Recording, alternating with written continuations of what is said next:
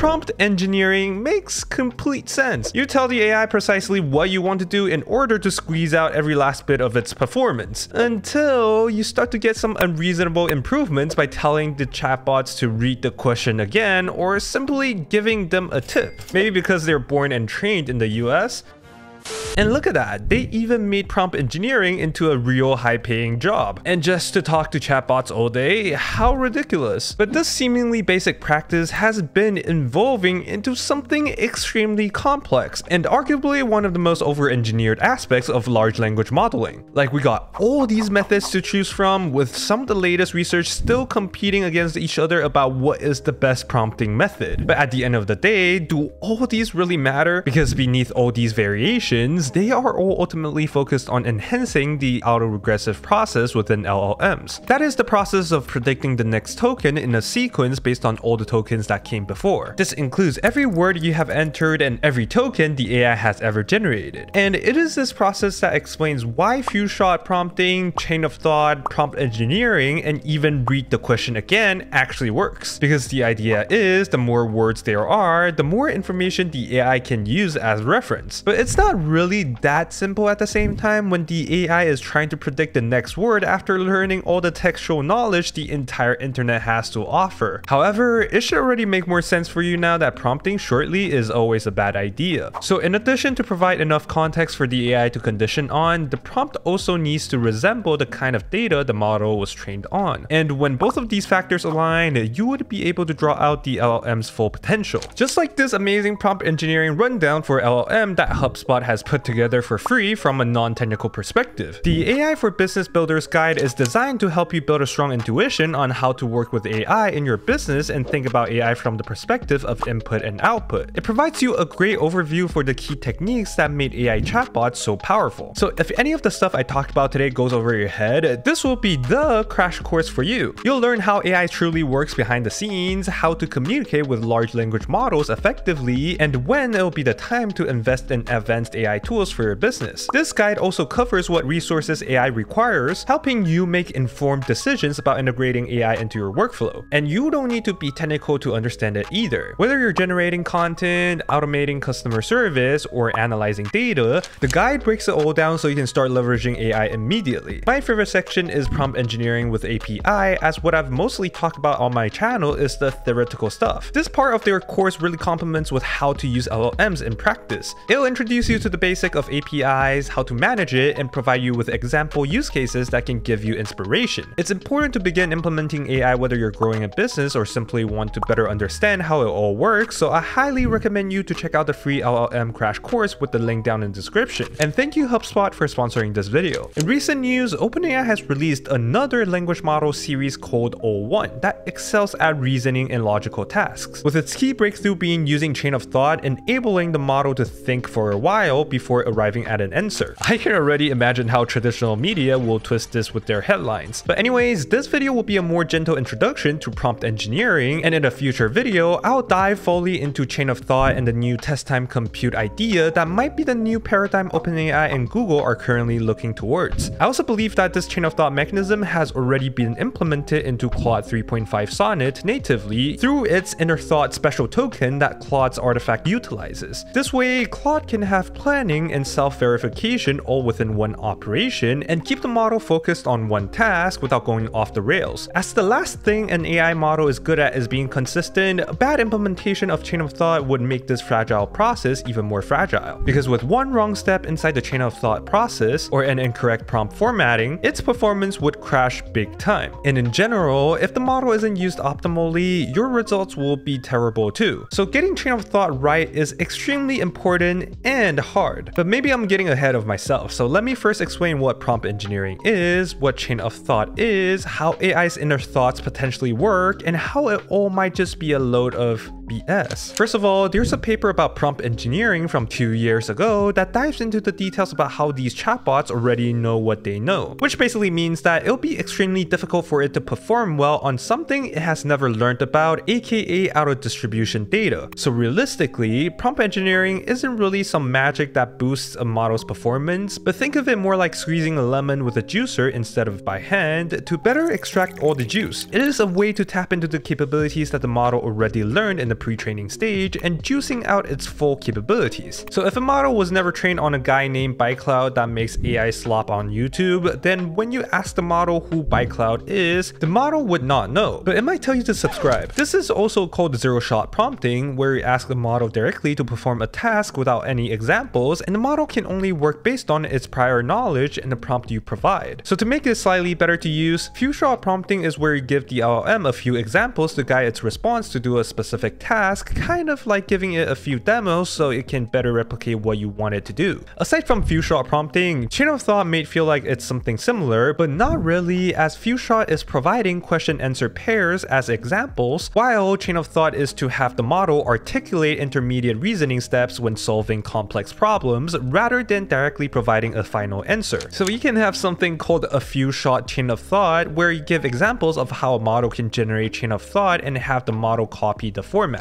Similarly, you can insert more instructions into the chain of thought process. Problem decomposition is another instruction that you can add on top of chain of thought. An example of this is plan and solve that would have a model plan on how to solve a question by breaking it down into smaller steps to better approach the problem. And if these prompt engineering methods sound familiar, it is because they are often used in benchmarks. Zero-shot prompting will usually show what the model is capable of right out of the box. Few-shot prompting demonstrates the model's capabilities to generalize and follow unseen instructions, and chain of thought tries to get the model to reason more carefully when trying to find the correct answer. But why are some chain of thought implementations better than others? Why is that when you use chain of thought on a model, your result is still dog water, but when Claude 3.5 Sonnet or OpenAI O1 does chain of thought, it just blows everyone out of the water. So there is a huge difference when the model is seeing this chain of thought method for the first time compared to being trained on it beforehand. I'm a trained professional.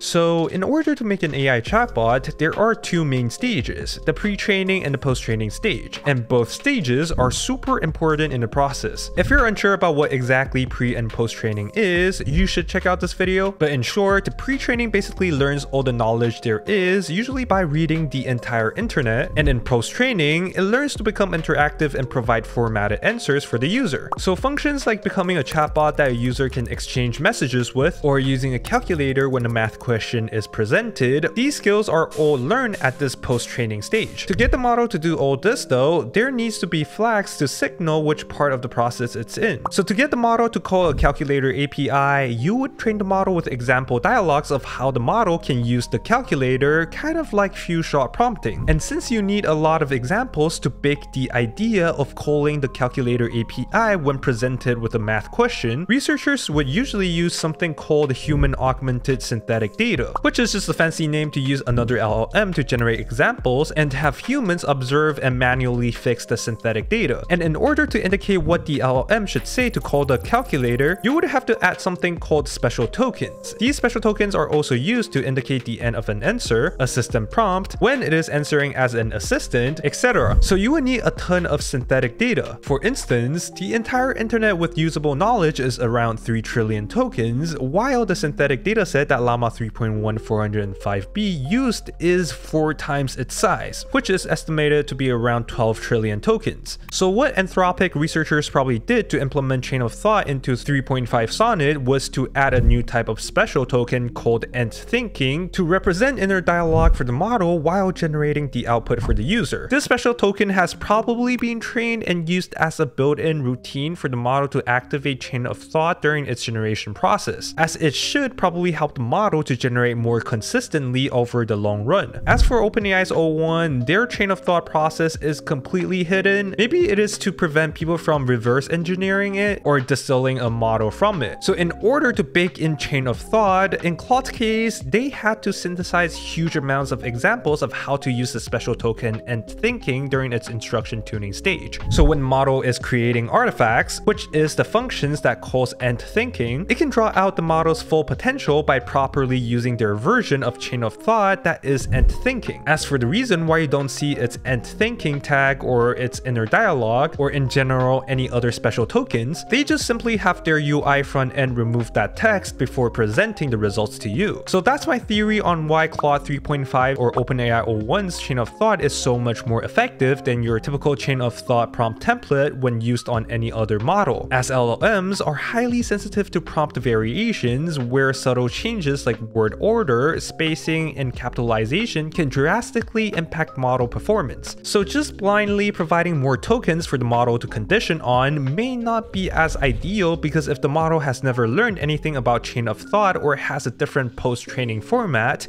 the results may only be suboptimal and it'll be hard for the model to stay consistent even with the extra information. This is also why chatbots with strict safety guardrails feels like lobotomized, as these safety instructions obstruct the model from making good connections with its knowledge base, since the question is obfuscated by many other unrelated safety instructions within its context window. On the other hand, self-reflection is yet another interesting approach, as it introduces self-verification during the generation process, allowing the model to iteratively check its answers. It's pretty known that this can significantly improve performance across reasoning and generation tasks, but it's also a pain to use it in practice because they would often still get the answer wrong as what people usually ask are out of distribution questions. And even under the hood, they would often change their mind on whether an answer is correct or not. But anyways, if we all take a big step back, all these methods like chain of thought and reflection are just generating relevant tokens that help condition and predict the next token more accurately, right? In the latest OpenAI report on O1, they proved practically that there's a new scalable aspect of LLMs, that is, the more amount of tokens a model generates, the better it performs on reasoning. This has shown huge improvements in performance on incredibly hard logical tasks, but only on those tasks. With other non-reasoning related tasks like English literature, the performance stays stagnant, which kind of shows that chain of thought related methods are just squeezing the juice out of the lemon like I described earlier,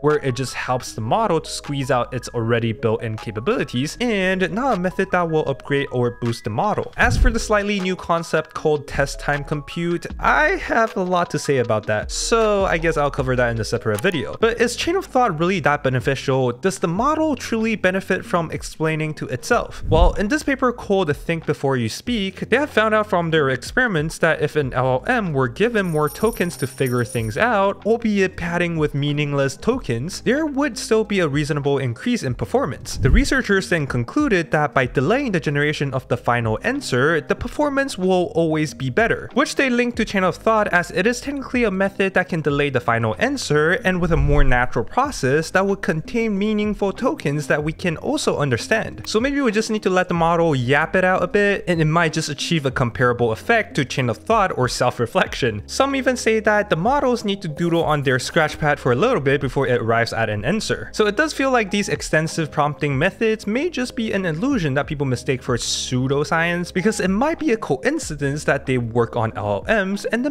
methodology seems logical to us. That said, few shot prompting is still effective and prompting closely to the training data is the correct way to use it. However, another research paper called Future Lens presents another very interesting perspective onto the table. So through a handful of experiments, the researchers were able to show that when the model is generating a token, the information in the neural network that is used to generate that token would also contain enough information to predict the next one or two tokens with an accuracy of up to 48%, which means if you're lucky enough, generating one token would technically give you three tokens in total. This paper actually paved a handful of really unique methods for probing the internal workings of language models and understanding what they know about the future sequence at each step. So it might be possible to optimize the process and reduce the number of layers needed for generating text, and we might have just been brute forcing prompt engineering methods onto LLMs, which made me think that prompt engineering is unreasonable because we still kind of don't really understand the process of autoregressive language modeling. Like on one hand, it does feel like chain of thought and various extensive prompting methods do work and make sense logically, but on the other, it feels like it all might be a placebo effect when it's too overcomplicated. Like have you seen how many papers that solely focused on prompt engineering? But to be honest, the same could be said about how we don't fully understand how transformers work. So at the end of the day, when the model doesn't do exactly what you want, don't pay for that super expensive prompt template,